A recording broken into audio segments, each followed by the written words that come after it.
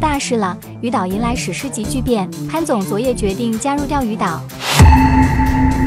梧桐对此隐而不宣，放出口号：不跑路，不卖号会更好。进度已达百分之九十，本周日晚八点大结局。而另一面的平头更是三缄其口，但偷偷的告诉了他的铁粉，潘总是花了大几百个拿下梧桐的武装加盟鱼岛，然后雪山的其他老板和号是不动的，但可能会运走一到二只镜台善恶和一到二只谛听。如果平头所言非虚，那对鱼岛来说简直是久旱逢甘霖。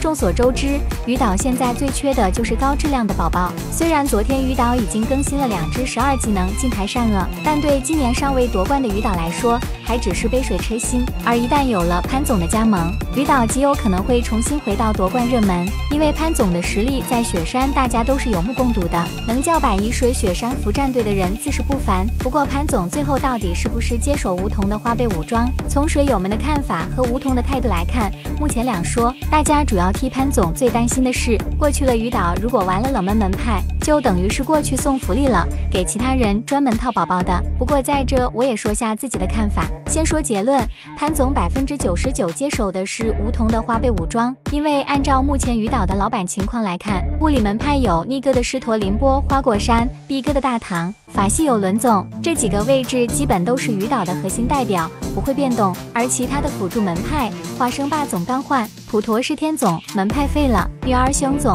地府锤哥是元老，主打就是养生，基本也不会动。而盘丝的肌肉哥和梧桐的武装，应该是潘总的选择项。但就梧桐目前这个负债情况来看，从人性角度来说，梧桐的武装被潘总接手的可能性最高。所以平头这一次说的可能都是真的。那接下来的最后。两连武神坛就精彩了。好了，哥哥们，你们觉得潘总会接手梧桐的武装冠吗？快来评论区留言讨论一下吧。